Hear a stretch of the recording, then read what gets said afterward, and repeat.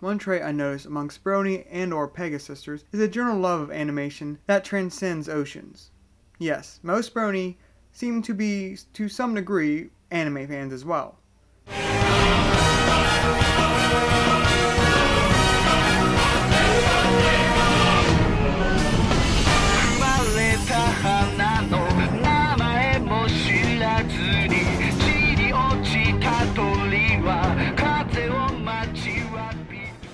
So with that idea in mind, I thought it would be good to use my experience in anime to recommend several series tailor-made for fans of Friendship is Magic, FIM-adations.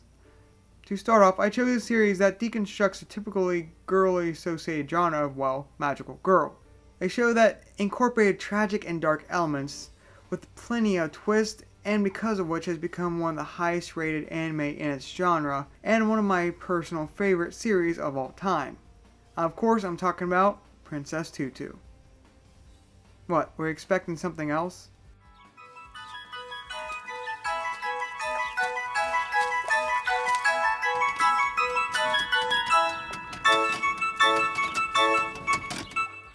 May those who accept their fate be granted happiness. May those who defy it be granted glory.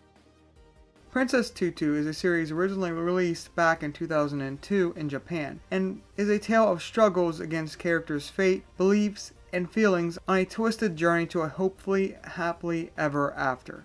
It follows young ballerina Duck, yes Duck, who is known for her clumsiness and bird brain behavior, but she can't really help it as she is a duck, literally. The mysterious manipulative Drosselmeyer transformed Duck into a human girl to catalyze the end of a story. To that end, Duck was granted the ability to transform into Princess Tutu to collect and return the shards of a prince's heart that was shattered to seal away an evil raven. However, is this what is best for the prince? For a heart is a heavy burden. I know that doesn't seem too unique or praiseworthy, but greatness awaits in the details I dare not spoil. Long story short, Princess Tutu is a series that what we professionals like to call has a lot of give a buck. The creators of the series really loved it and gave 110% because, like with Friendship is Magic, there is no one element that makes the series great, but several working in cohesion, from the animation, story, and characters, voice acting, and a brilliant score. Now please, give back Mytho and his heart. No.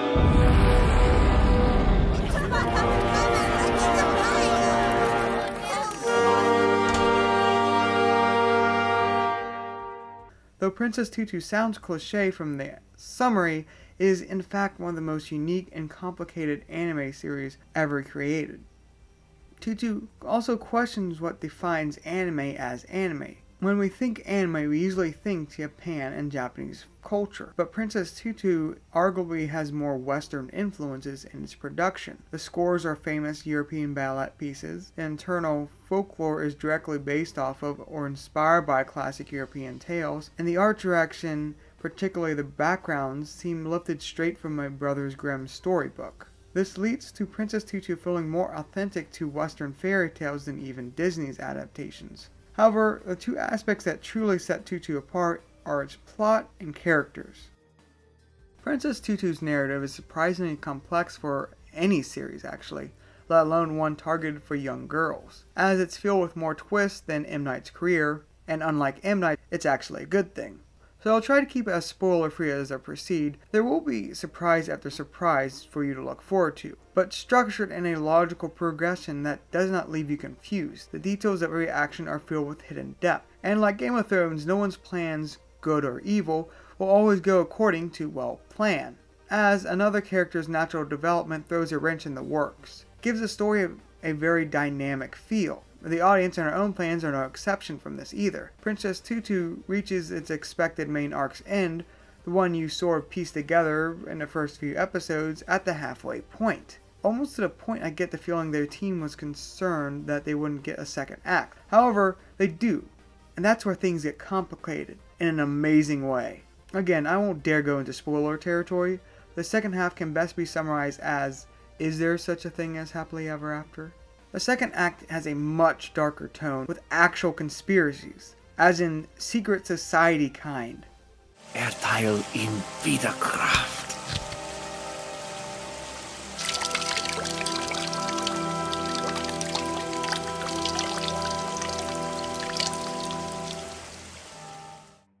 This leaves Princess Tutu as one of the most surprisingly mature shows out there in terms of what it expects the audience to process and understand. And it's about ballet. One aspect enhancing the more mature tone is a depth of characterization that is some of the best for any show, period. Remember how I said the story was reborn halfway through the series? Yeah, so are the main cast characterization arcs. At the halfway or season 1 point in anime terms, Duck, Kraehe, Mytho, Rue, and Fakir have their character developmental arcs come to a close and start anew. Unfortunately, most anime and shows in general only get around to having their protagonists go through a full developmental arc. A few good ones have several support characters go through the arcs as well. Friendship is Magic is an exception to this in a great way, and so is Princess Tutu. Tutu has all the main cast go through two developmental arcs in a complementary fashion that squares their character depth and essence. Ha has been doubled! In short, Princess Tutu is a series where good becomes evil, evil becomes good, over and over again, yet all in a believable manner built around the characters' personalities.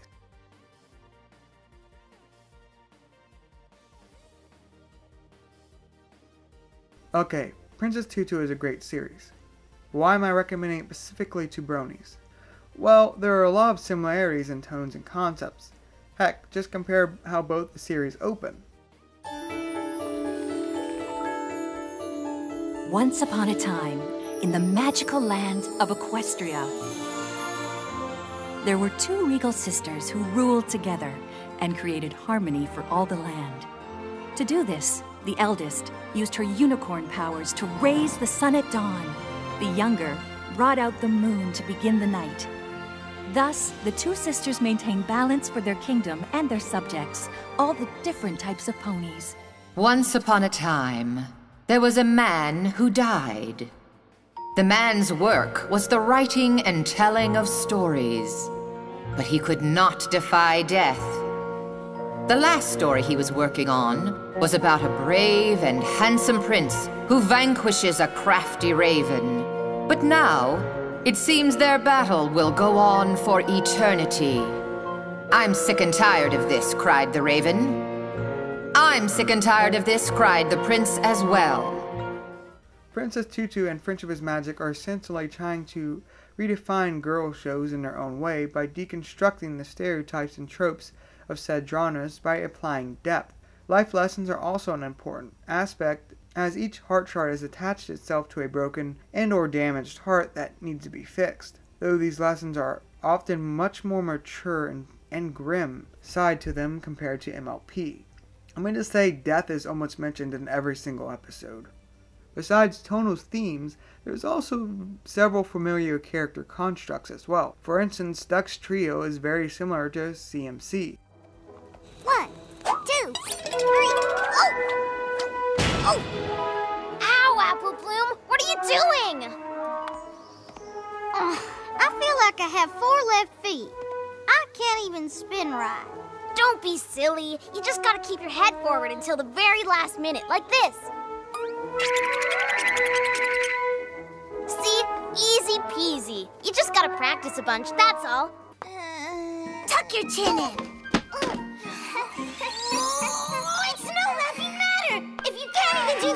You'll never get off probation! Stop it! Now be reasonable! Duck simply isn't capable of doing two things at once! All she has to do is walk with a book on her If head! it's something so simple she can't do it, she simply can't! Then she'll never be a prima ballerina! The main antagonist for most of the series is Princess Kraehe, which shares a lot of similarities to Nightmare Moon in her backstory relationship to Princess Tutu, which shares a lot of similarities to Nightmare Moon's relationship with Celestia with her relationship to Princess Tutu. Both Nightmare Moon and Kraehe felt cursed to be in the shadows of others and eventually embraced the darkness to take what they feel fate robbed from them. Is Gray? Back here! Be gone, you ugly crow! Crow?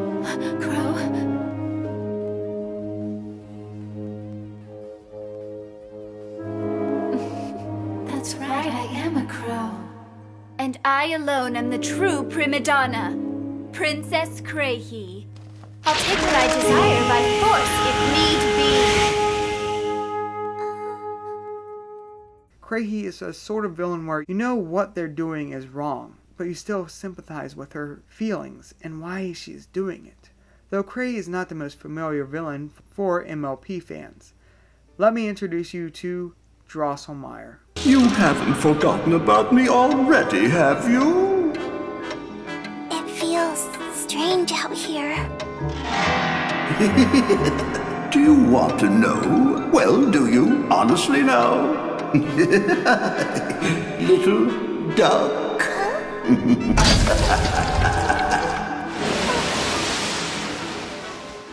Drosselmeyer was an author gifted with the ability to rewrite reality for his amusement, as he crafts tales of dread for others. Very good, very good. The sprouting of a new seed of calamity, the deepening mystery, and to the duck who chose the path of suffering and tragedy goes a hearty round of applause. Sounds familiar? Yeah, it's pretty much Discord. From odd idiosyncrasies aesthetics, narrative use, and an odd puppet fetish. And we get 26 episodes of his shenanigans and manipulations. So essentially, 26 episodes of Discord. Put simply, yes.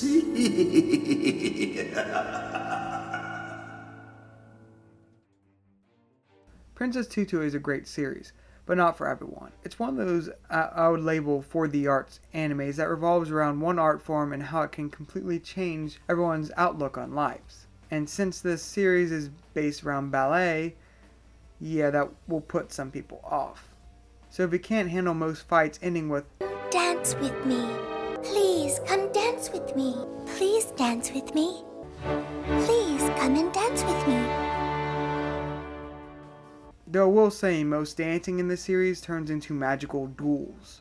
And since most bronies are fine with liking a series whose title is My Little Pony, I don't see outside aesthetics being too off-putting. So I urge you to give this series a try. It's available from many different sources including, but not limited to, Netflix, Hulu, or by getting the DVD box set on Amazon at a very low price. Besides supporting the series by buying the DVDs, you also get access to one of my favorite aspects of mid-2000 dubbed anime, the blooper reel.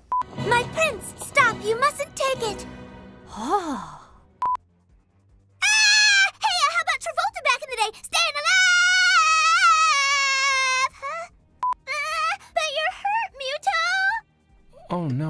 lost my heart, all my pain receptors were blocked too.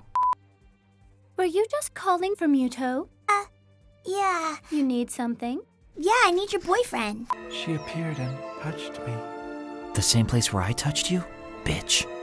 I love that so much. Either way, there are multiple high quality free and legal distributions free to give the series a taste. Princess Tutu may seem very generic magical girl show from the outside, in the same way that Friendship is Magic might have seemed very generic from the outside in. But this series, to put it in perspective, has more in common with Black Swan than it does Sailor Moon. Till next time, keep calm and an open mind.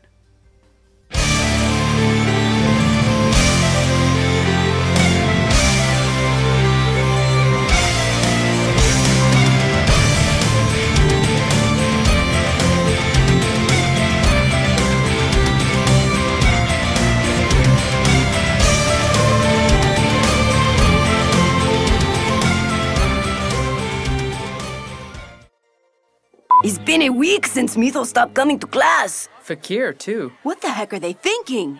Well, it's not like you can ever tell what Mytho's thinking anyway.